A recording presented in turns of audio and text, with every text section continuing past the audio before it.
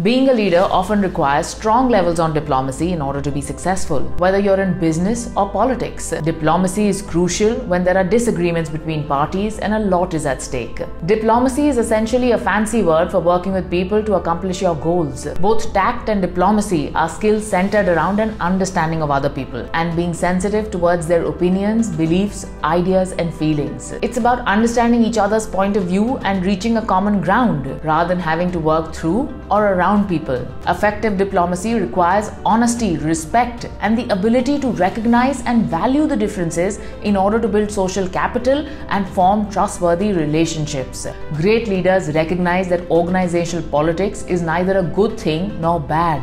They understand that companies are composed of complex relationships and that there will sometimes be a diversity of opinions and competing agendas. They are good at cultivating a network of relationships and developing a political savvy to influence challenging situations into a productive direction. See, diplomacy is the art of letting somebody else have your way. The ability to assert your ideas and opinions, knowing what to say and how to say it without damaging the relationship and causing offense. Effectively utilizing the skills of diplomacy can create win win outcomes, especially under difficult circumstances. And that's what great leadership is all about, isn't it?